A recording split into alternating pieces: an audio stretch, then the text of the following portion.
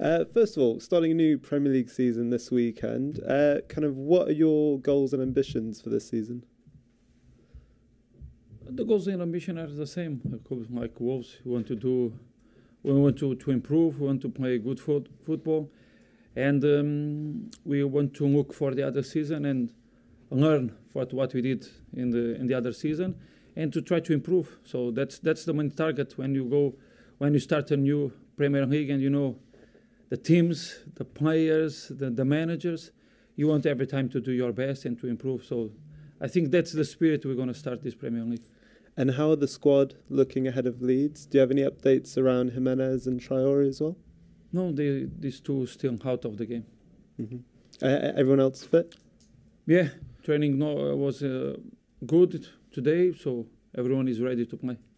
And I just wanted to ask you about Morgan Gibbs White. We, have been reporting on Sky Sports News you rejected a third bid for him. Can you give us any update around that? No, we reject because, uh, like I'm saying, since the first day I'm here, I was here. So uh, I remember uh, when the first one year ago when we talked about Morgan, I said I will need treat I will not treat Morgan as a kid. Uh, I remember his first goal. It was against uh, Brighton. I think I was in the first time he played for the first team because I was in the other bench in Sheffield uh, against. I was in Sheffield Wednesday. Um, I said to him to, to stay in, in the in September. I said to him to stay in August. And today I can say it is important player for me and mm-hmm. for the dynamic for the dynamic we are building and for the future of Wolves. So we reject because he's important player for me. And will he be part of and the squad? He feels important also. He's happy the way he play show me that. The way he, he work every day in the training show me that. So when we have this connection between manager and and, player and also player with his teammates everything it's it's good. So we want the player with us. And will he be part of the squad for this weekend? Is he okay to yes. play? Great. And just one final question around Full fit and motivated to do his best game Amazing. And Conor Coady, I just want to ask you about him. He, in pre-season, you've gone to a four at the back, and he hasn't been featuring as much. Um, have you had a discussion with him around his role this season?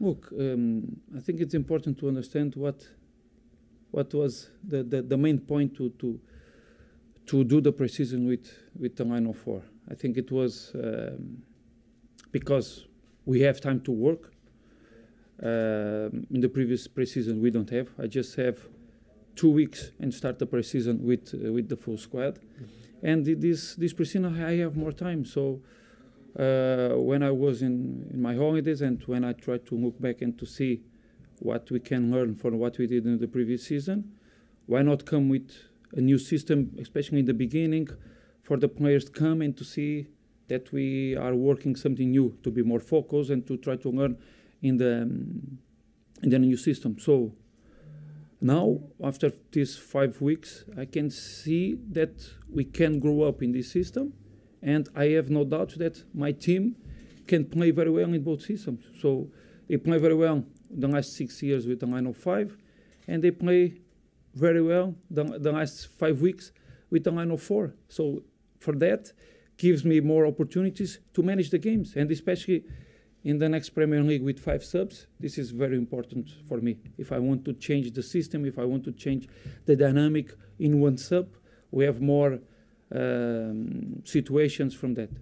About Coady, you know, because I'm saying that also since the first day, it's not. Uh, I'm not hired this from anyone. Maybe he's the one of the best persons I, I know in football. I have a great season with, with him, and also I think he have a great season with. Uh, with me. Um, today, I can say is is it, it, it's a guy that you will keep in your friendship because it's a, a lovely guy. It's my captain. He's still my captain.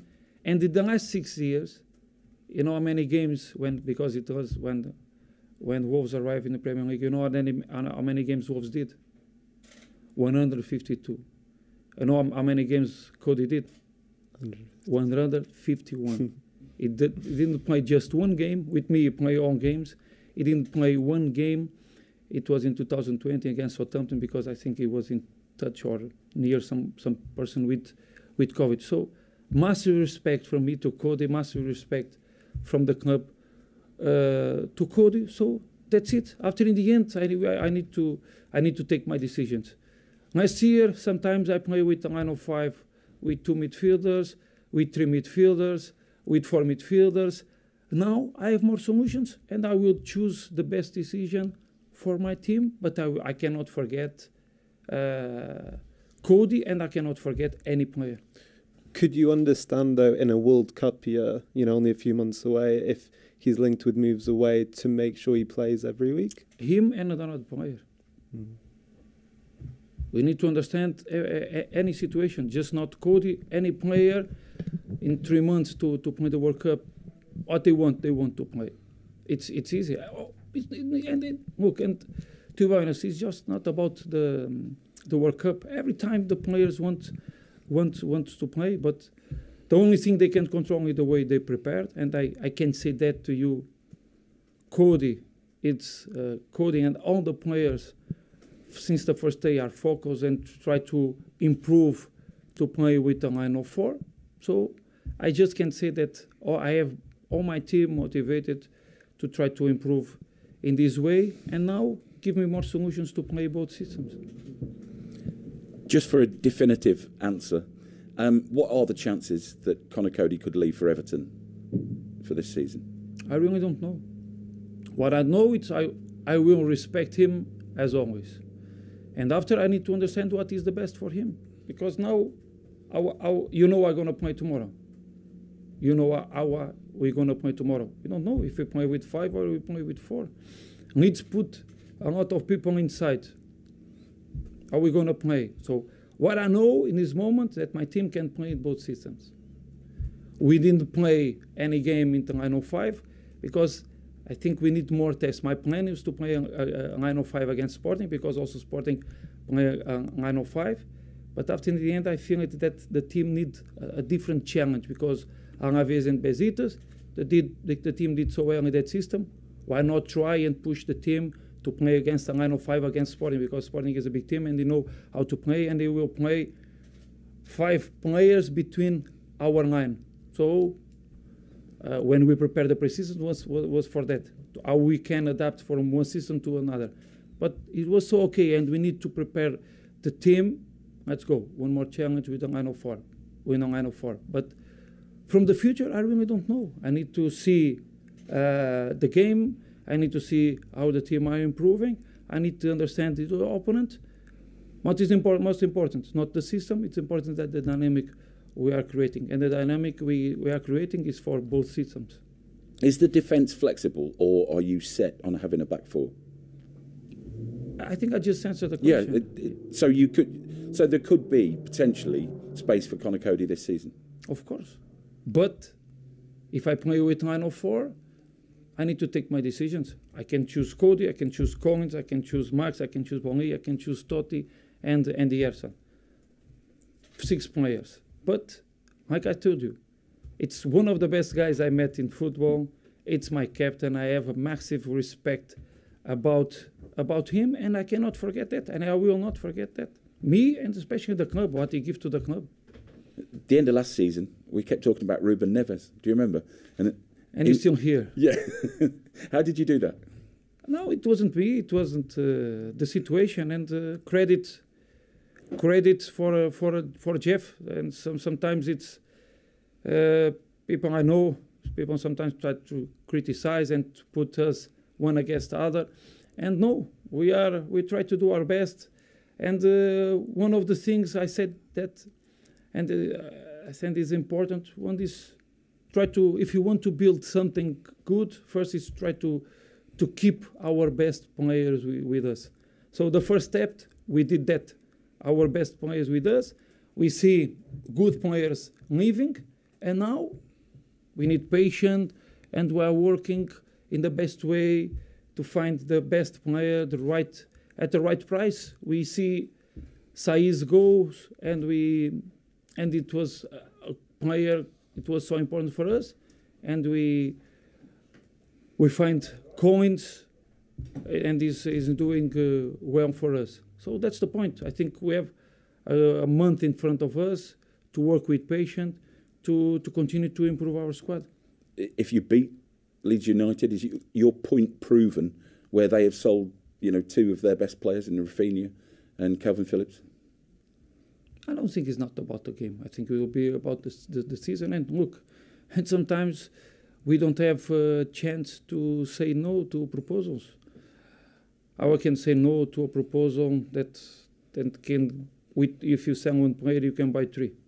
How can how can we say no three years ago when an offer like 120 million comes for a player and you say no?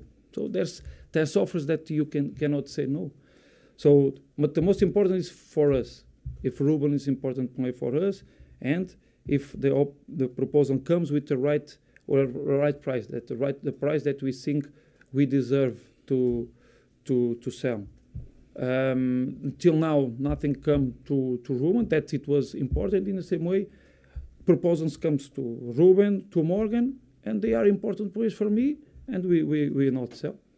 Finally, from me, so clear. Have you got enough in the squad to improve on last season? That's that's the target. That's the target. I will not change nothing that what I said uh, in the end of the, the season or during the, the, the season.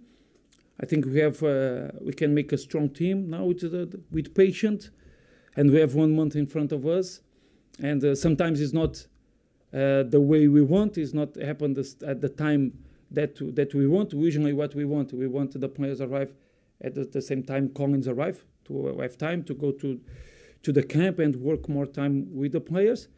But during the transfer window, we just finishing in the in the end of August.